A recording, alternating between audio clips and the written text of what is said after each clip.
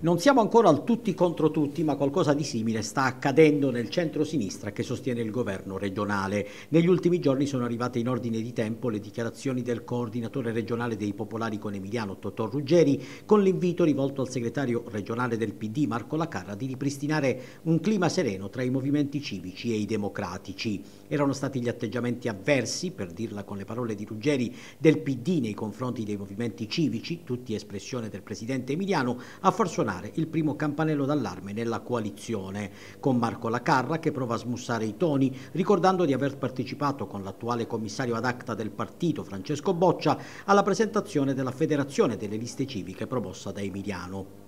Ancor prima erano stati i consiglieri regionali del gruppo con Emiliano a chiedere al PD di abbassare i toni contro le forze civiche presenti in regione. A rendere ancora più incandescente il clima nel centro-sinistra regionale sono arrivate le parole del segretario pugliese di sinistra italiana Nico Bavaro, partito presente in giunta regionale ma non in consiglio, dal quale è arrivata una nuova bordata al presidente Emiliano. Sulle amministrative Emiliano è intervenuto in modo netto come se volesse fare il segretario dei partiti, le parole che hanno fatto salire la temperatura nel centro-sinistra. Il riferimento al caso Barletta, dove il civismo di Emiliano ha di fatto preso il sopravvento sul PD nella scelta del candidato sindaco, tagliando fuori 5 Stelle e Sinistra Italiana, è molto più che sottinteso. Le dichiarazioni di Bavaro però non sono state digerite dal capogruppo del PD in Consiglio regionale Filippo Caracciolo. Serve una immediata verifica di maggioranza, anzi la chiediamo in tempi brevi, dichiara.